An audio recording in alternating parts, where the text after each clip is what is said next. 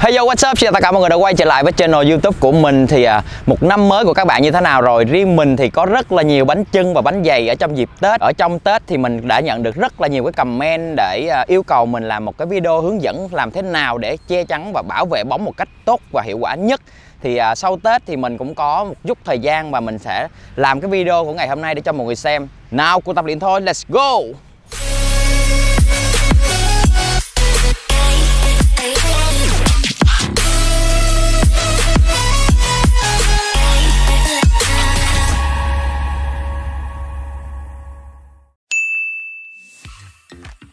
Bảo vệ và che chắn bóng trong chân là một trong những yếu tố kỹ thuật thực sự là cơ bản và cần thiết dành cho những người chơi sân 5, sân 7 cũng giống như là sân 11 người. Để làm được những cái điều này thì mọi người nên nắm rõ những cái yếu tố sau đây. Đầu tiên thì mọi người à, khi mà trước khi nhận bóng thì mọi người nên à, xác định được vị trí đứng của đối phương để chúng ta có thể nhận bóng được một cách dễ dàng thì chúng ta sẽ quan sát trước khi nhận bóng, chúng ta sẽ nhìn coi đối phương ở góc nào, hướng nào, hoặc là bằng cách chúng ta sẽ chạm tay vào đối phương để biết được là khoảng cách của đối phương đang xa chúng ta, cảm nhận được vị trí của đối phương đang đứng là như thế nào nha. Bước tiếp theo thì chúng ta sẽ nhận bóng và hạ thấp trọng tâm xuống. Tại vì khi mà đối phương đang rác động một cái lực rất là mạnh lên chúng ta thì chúng ta sẽ hạ thấp trọng tâm xuống để đối phương không thể nào đẩy chúng ta đi được. Thì chúng ta bắt đầu giữ bóng khi mà chúng ta đã bắt đầu là nhận được bóng rồi thì chúng ta có thể hạ thấp trọng tâm xuống và chúng ta sử dụng tay để cảm nhận vị trí đối phương hoặc là dùng lực đừng cho đối phương đè lên chúng ta. Hai chân chúng ta sẽ dang rộng ra như thế này để tăng cái khoảng cách từ đối phương nhận lên bóng. Chúng ta sẽ đưa bóng ra xa, đối phương càng xa càng tốt. Nếu mà chúng ta không rộng đưa chân thì chúng ta đứng như thế này thì đối phương dễ dàng để có thể thò chân lên để lấy bóng. Chúng ta sẽ như thế này. Thì khoảng cách từ đối phương và đến bóng nó rất là xa như thế này. Mình sẽ đưa bóng đi. Và tiếp theo là chúng ta phải sử dụng thật là nhiều lực để dồn lên cái à, đùi của mình để trụ, trụ thật là vững để cho đối phương không thể nào mà đẩy chúng ta bằng một lực mạnh đi khá xa như vậy. Và tiếp theo là chúng ta sẽ di chuyển bằng uh, nửa bàn chân thôi là hay là chúng ta có thể hơi nhón chân như thế này. Chúng ta sẽ chịu lực mượn lực của đối phương thì đè lên chúng ta để chúng ta có thể dễ dàng xoay trở khi các bạn đã bắt đầu à, bảo vệ bóng và che chắn bóng được à, à trong một cái tình thế an toàn như thế này thì bắt đầu chúng ta sẽ suy nghĩ tới một cái bước tiếp theo đó là vượt qua đối phương bằng cách thì à, chúng ta sẽ sử dụng má ngoài để đẩy bóng đi. Có thể chúng ta sẽ di chuyển hoặc vòng trong chúng ta sẽ vượt qua đối phương.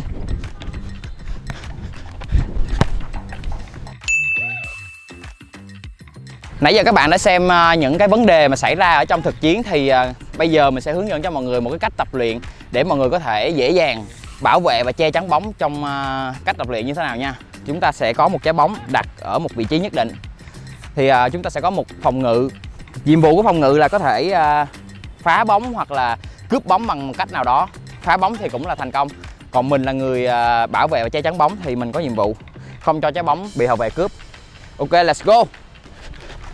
Chúng ta sẽ đẩy bóng, đẩy hậu vệ ra, không cho hậu vệ. Ok ok, đây là một trong những cái chúng ta cần tập luyện là không cho đối phương đứng gần với bóng. Trong thực tiễn cũng vậy thôi, thì đối phương có nhiệm vụ lấy bóng mà chúng ta đưa đối phương ra càng xa càng tốt, đừng cho đối phương chạm vào bóng. Dùng tay để đưa đối phương ra xa, hoặc khi mà đối phương gần với trái bóng rồi thì chúng ta sẽ sử dụng má ngoài hoặc lòng trong để đẩy bóng đi.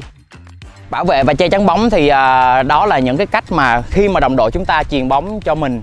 Và khi mà bóng đang nằm ở một tư thế, tình huống 5 năm, bóng nảy ra như thế này, thì khi mà đối phương lao lên cướp bóng thì mọi người sẽ bảo vệ đó bằng cách nào? Lên.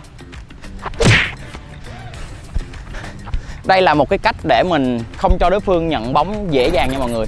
Chúng ta sẽ canh thời điểm đối phương đưa chân ra và chúng ta sẽ gài lại. Như lúc này nếu mà đối phương đưa chân mạnh lên thì chúng ta sẽ làm cho đối phương té ngã.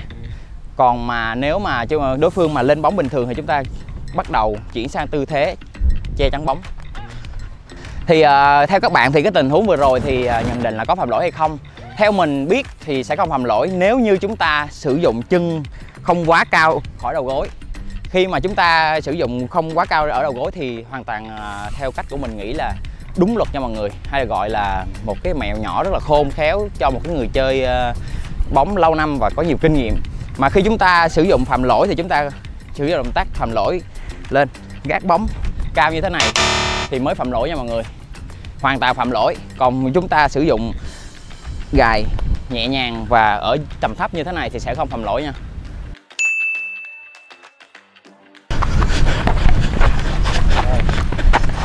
Ok, và đây là một trong những cái à, tư thế tiếp theo là một cái tư thế à, bảo vệ và che chắn bóng theo một cách của Bivo.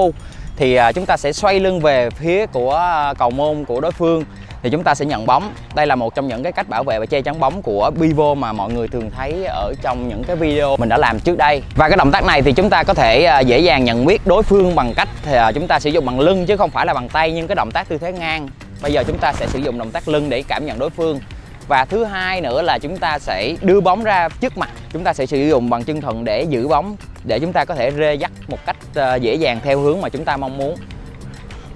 Vẫn sử dụng hạ thấp trọng tâm chúng ta sử dụng lực lên đôi chân để không cho đối phương đẩy chúng ta thật là mạnh. Và sau đó chúng ta sẽ đưa bóng ra trước mặt đưa bóng ra trước mặt và sử dụng bằng gầm để rê dắt bóng.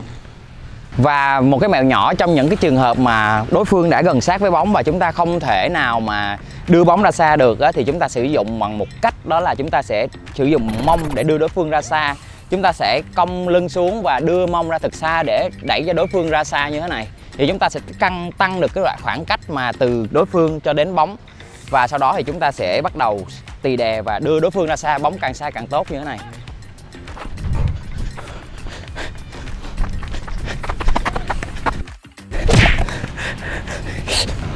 Lấy thẹo thiệt rồi mọi người ơi.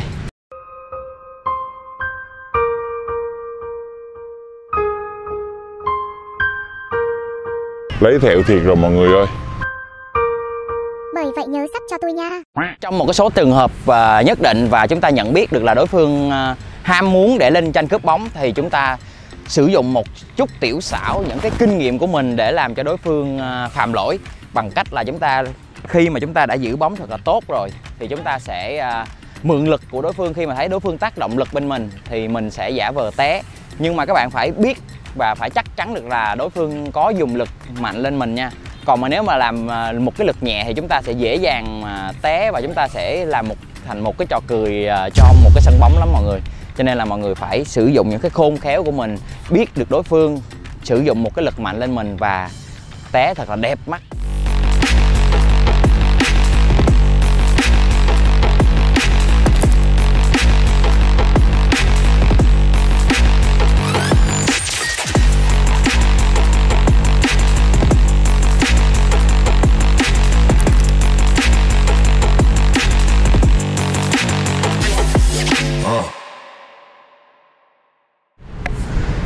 Những cái động tác này thì đòi hỏi mọi người phải à, tập luyện nó thật thường xuyên và áp dụng nó vào trong những cái trận đấu của mình và um, đừng quên là mình sẽ có một cái thể lực thật là tốt bằng một cái cơ tay và một cái cơ chân cơ đùi của mình. Nếu mà mọi người muốn tập luyện giống như mình thì hãy à, inbox riêng cho mình thì mình sẽ cho mọi người một cái tip để mọi người có thể có một cái cơ đùi và cơ chân rất là khỏe như mình nha. Cảm ơn tất cả mọi người đã xem video và hẹn gặp lại tất cả mọi người ở video tiếp theo. Và trước khi tắt màn hình mọi người nên à, bấm like share và subscribe để ủng hộ cho mình. Comment tất cả những cái động tác mà mọi người mong muốn. Bye!